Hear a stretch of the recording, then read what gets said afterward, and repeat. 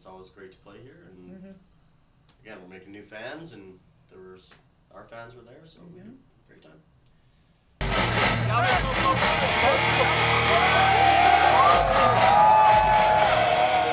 Yeah, but it's difficult when we do two hours. You know, There's a when, you lot have, of when you songs. have eleven albums out, it's like a you know, it's a it's tough to make a set list that is going to make everybody happy because we have fans of all eras. You know, and uh, and you know, normally it's like when a when a fan discovers a band, the first album they hear ends up you know being their favorite, and and we have fans that are you know back from the first album and Stormrider and Burnt Offerings and you know the Dark Saga and all these you know it's so we have all these things that we have to dig into once in a while but we want to play the new stuff because it's our new stuff and mm-hmm. it's really great I think. So it's a challenge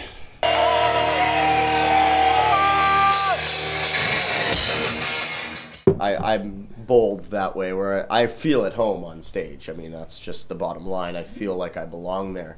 Um, uh, so I, I think it just comes naturally. I just think it's naturally in me to be a performer and ham it up and whatever. Just do you know, just entertain and and and I enjoy doing it. I have a good time doing it, and uh, I wouldn't trade it for the world. Uh, It's you know, everyone dreams about doing what they love, and I'm for a living, and I'm able to do what I love for a living, and uh, be blessed to work with my brother and and uh, my best friends, and you know, uh, it's it's great. You know, it's, yeah it's awesome we have a good time he belongs with this band there's no question So, it was it was fun. obvious like from the first time we met each other i mean we worked together we met each other on tour before but you know i, I was not in such a great place in my head and uh, his old band Into Eternity opened for us and i was really having a difficult time and so we didn't really bond at that point but when he came and, and we did the, the audition we wrote a song together and it was like it was, It was- obvious it was really great. quick and it's and it's just you know and through the last few years, all the stuff that we've gone through together on tour, and we, it just gets stronger. You know, I mean, it's not like we can we can do 150 shows together, and, and you know, a few days after the tour's over, be calling each other because we miss each other. Yeah. and that's a that's a kind of a different thing. You know what I mean? But but we're getting a group of guys like that together, where it's it's. I mean, I think you can see it on stage.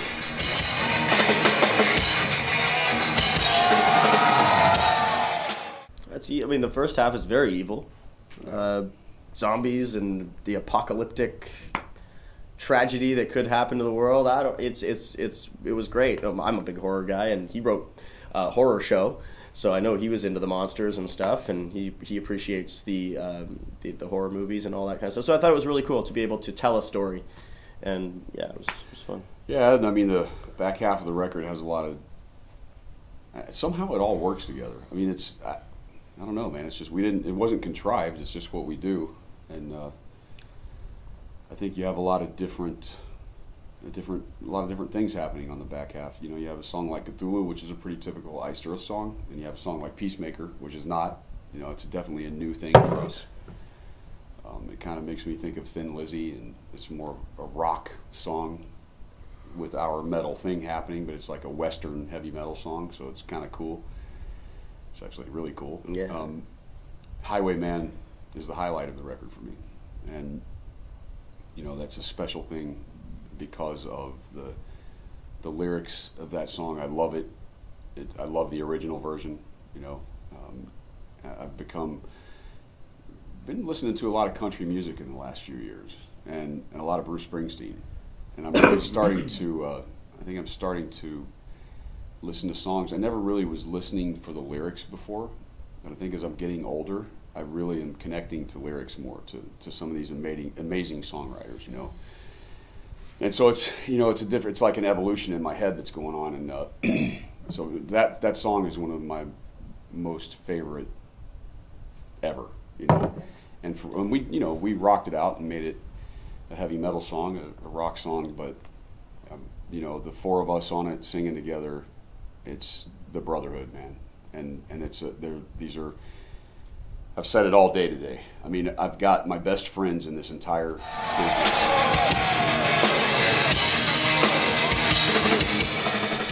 Hansi from Blind Guardians there, Stu's there, Michael from Volbeat, Russell Allen.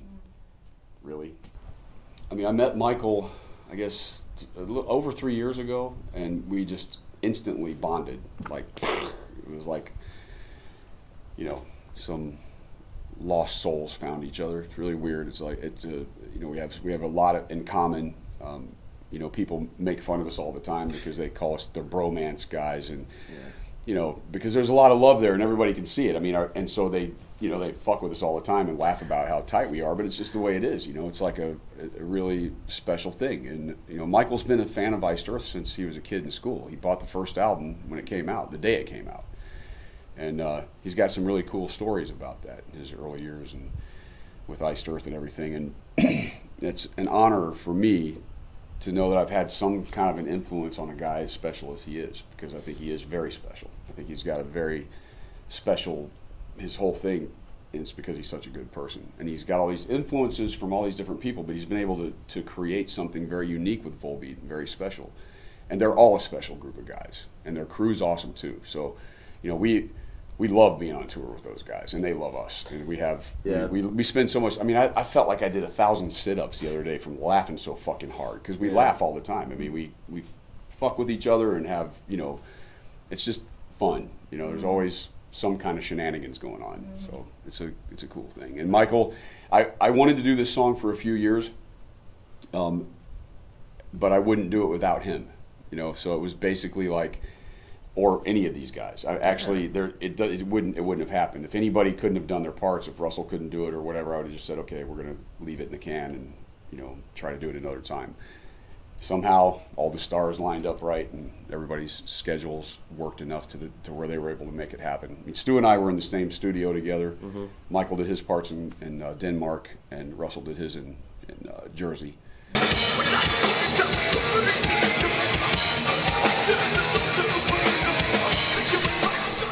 Plagues of Babylon is it's the story that the first six songs are, and it's basically the zombie apocalypse, but within the Something Wicked universe. So that's why you see Set, our mascot, who's been on many album covers, not all of them, but on a lot of them. Um, he's he's ready to unleash the plagues of Babylon. He's got them chained around their necks, and he's ready to to let it go, so that the plague spreads, and you know, and so this in the story the Setians are controlling the governments, and they're the front. The governments are the front men, and they're ready to unleash this this plague, this virus on humanity to kill a huge amount of the population. But what they don't under, realize is that they're making a cocktail that actually causes the dead to rise. And so what happens in, in the story is you have the resistance, which are the kind of the people that are aware of the government's crimes and are fighting that, and then they get stuck fighting the zombies too, which are end up becoming kind of a weapon for the government. So it's a it's a really twisted kind of a story that fits pretty well into the whole something wicked thing, and that's that's what we uh, that's what we went with. So.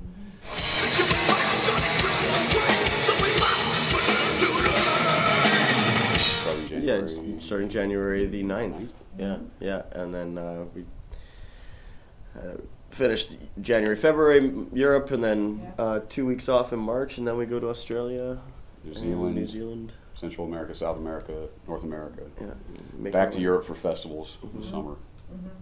That's Yep. and then maybe, just maybe, you'll take a little bit of it, some you know, Yeah, I brain need- time. I need a vacation. Yes. When? I can't tell you. I mean, it's a scheduling thing, and you know, I just don't know right now. I mean, we're, we're Iced Earth is working so hard, and Hansi's really busy with stuff, and it's just, you know, it's going to happen for sure, but I, I can't tell you.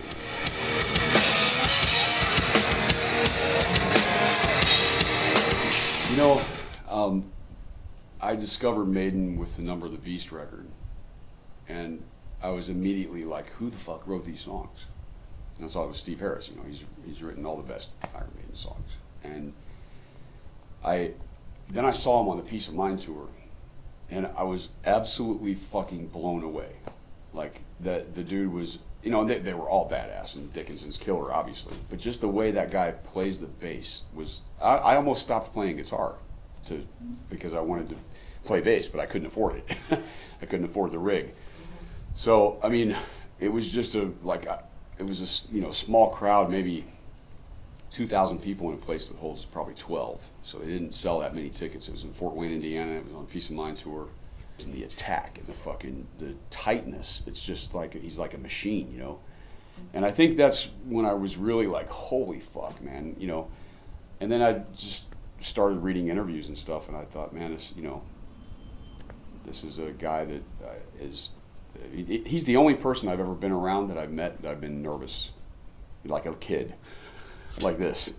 you know, I mean, I've met Dickinson and Ronnie was a friend, and I've known all these great guys. You know, I mean, that in the metal scene, but when I was around Steve Harris, I was literally like a fucking kid.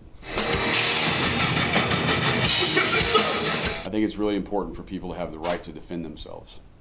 I think history shows us that if the governments are the only ones with the guns, then the people are victims and they die by the millions. So that's been proven time and time again. Hitler, Stalin, Mao, Pol Pot, let's go down the list. So I think that anytime that people are not able to defend, them, defend themselves, which is a God given right, whatever your God is, that's a problem. So that's all I'm going to say on that subject. I mean, I, of course, I agree. You have to be able to defend yourself. Even though I live in Canada, but I still make sure that I have home defense, you know, and all that kind of stuff, you know. But and that that should be uh, any person's right to defend your family if someone is either entering your home or trying to hurt you. A you lot of people don't understand that the, the thing in the States is it's like the Second Amendment's a big deal because, but I think since World War II, the public has been kind of manipulated, their thinking has been, and, and I think it's really the reason that we have a Second Amendment is to be able to defend ourselves, not against the common criminal, which is a nice byproduct of, of an amendment like that, but it's to defend ourselves against a criminal government, which historically has happened time and time and time again. And, and when a government goes completely corrupt and they turn their guns on the people, the people have to be able to stand up for themselves. And you know, it's not about being an extremist and all the shit that they sell you and all these all these things. It's not about that. It's just about basic understanding of history and realizing that you know, at some point, and I think we're witnessing that in what's happening in the United States, and, uh, and it's been going on for a while, obviously, but it's getting worse and worse and worse by the minute. That uh, we have a situation brewing, but mark my words, the people will take care of the situation. It's going to take a while to get him awake. We're working on that, but we're going to try to right the wrongs of what our government is doing around the world because I'm sick of it.